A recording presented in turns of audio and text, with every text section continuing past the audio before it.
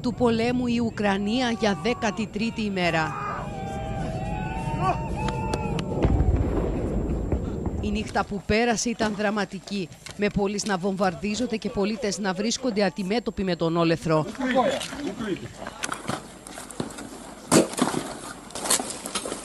Σύμφωνα με τις Ουκρανικές αρχές, τουλάχιστον 21 άνθρωποι σκοτώθηκαν κατά τη διάρκεια της ρωσικής επιδρομής εναντίον της Σούμη, μια πόλη που βρίσκεται σε απόσταση 350 χιλιόμετρων βόρειο-ανατολικά του Κιέβου. Η εικόνα του τραυματισμένου παιδιού στην πόλη Σούμη αποτυπώνει την αθλειότητα του πολέμου. Με το πρώτο φως της ημέρας και ενώ η συμφωνία για κατάπαυση του πυρός ώστε να απομακρυνθούν οι άμαχοι τίθεται σε ισχύ, κατά κύματα οι Ουκρανοί πολίτες εγκαταλείπουν τα σπίτια τους για να σωθούν από το Ιρπίν, το Σούμι, το Κίεβο, τη Μαριούπολη, τη Ζαπορίζια, το Τσερχίγιβ.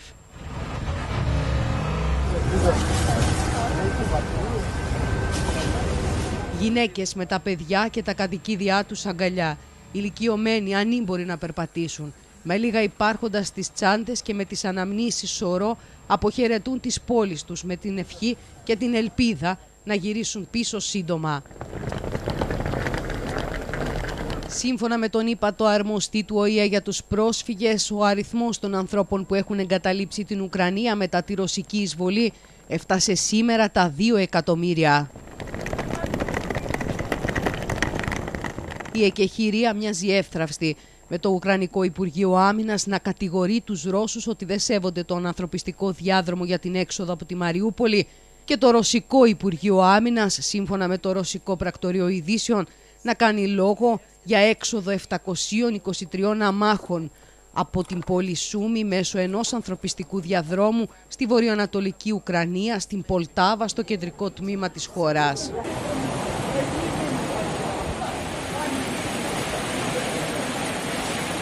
Στο μέτωπο των μαχών ο κλειός γύρω από το Κίεβο σφίγγει διαρκώς, ενώ στο επίκεντρο των πολεμικών επιχειρήσεων βρίσκονται η Μαριούπολη και η Οδυσσός.